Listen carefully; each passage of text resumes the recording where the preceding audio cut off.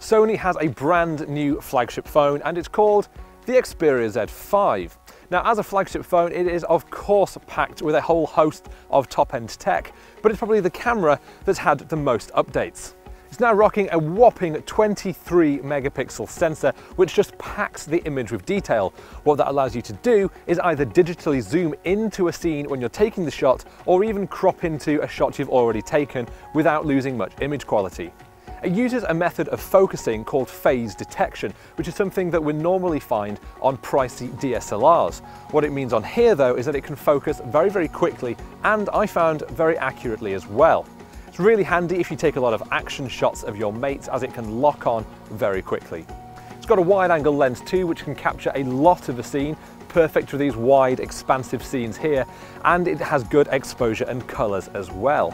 You'll still find a whole range of modes, including panorama, there's a backlight correction mode, or HDR as everyone else calls it, and you'll also find the quite fun augmented reality, which can put a dinosaur into your scene.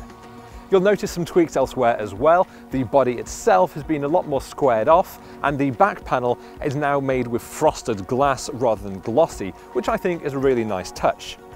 The power button on the side is now long and flat, and that's because it incorporates a fingerprint scanner, which works really well. Now the Z5 has the same waterproof thing that we've come to expect from all of Sony's Xperia Z range of smartphones. However, Sony now says that this isn't actually submersible in water, but rather its waterproofing is there to help keep it safe from spilled drinks or, appropriately enough, from the rain. Now on that note, I'm going to put up my hood. You can expand the storage using the micro SD card slot on the side which of course is hidden under a waterproof flap to help keep out the rain.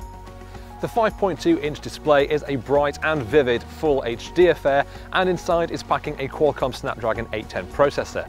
If you want something even bigger and flashier, check out Sony's Xperia Z5 Premium, which has a bonkers 4K display.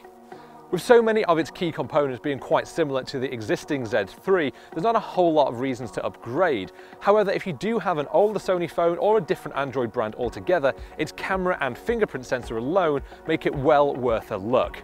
I'm Andrew Hoyle for CNET, and this is a Sony Xperia Z5.